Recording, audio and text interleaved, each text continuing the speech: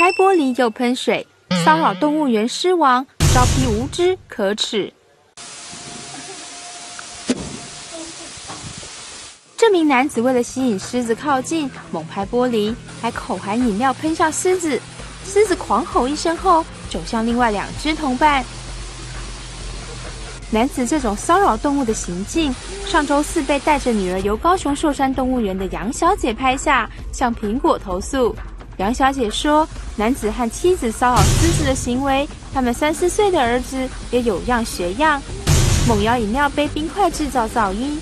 狮子被吸引走近时，男子还向儿子炫耀：“你看，狮子耶！”他们后来还去拍打黑猩猩的玻璃。杨小姐认为这家人无视园内公告，且涉嫌虐待动物。